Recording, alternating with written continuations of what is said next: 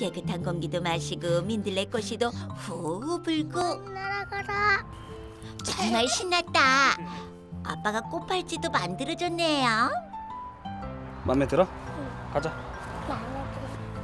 이제 집으로 돌아갈 시간. 예뻐? 아빠 집에 가고 싶어. 힘들어. 집에 간다. 집에 가면 해줄게. 아빠 갈 거야. 빨리 와. 음, 여기도 해줘. 점점 멀어지는 아빠. 지안이는 아직도 놀고 싶은데. 히. 오라니까. 절대 마음을 접지 않는 지안이 꿈쩍도 하지 않고 아빠를 목청껏 부릅니다.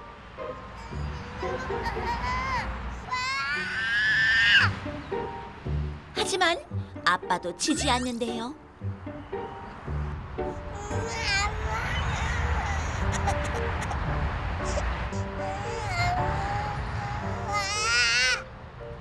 지안이의 멈출 줄 모르는 생떼 짜증에 아빠가 살짝 굽혀줍니다.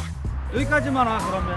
한 번 짜증이 나면 막무가내가 되는 지안이 여기까지 와. 아빠 안 가 이제 그러면. 지안이 안 오면 아빠 갈 거야 진짜로. 빨리 이거 빨리 해줄게 빨리 와. 계속 울고 이러니까 목도 좀 상태가 안 좋아지는 것 같고 그래서 그냥 제가 먼저 가긴 하는데 그냥 끝까지 모르는 척하고 그냥 가버릴까도 생각도 하고 하는데 답을 잘 모르겠어요. 이제는 억지까지 부리는데요. 뭘 안아줘 빨리 걸어와. 빨리 빨리 빨리 빨리 빨리. 빨리 엄마 기다리겠다. 이번엔 안아달라며 생떼까지 한 달 전 동생이 태어나고 나서 더 심해졌대요. 졸려서? 배고파서? 그러면 연 안 사줘서? 그런 게 어딨어? 빨리 와.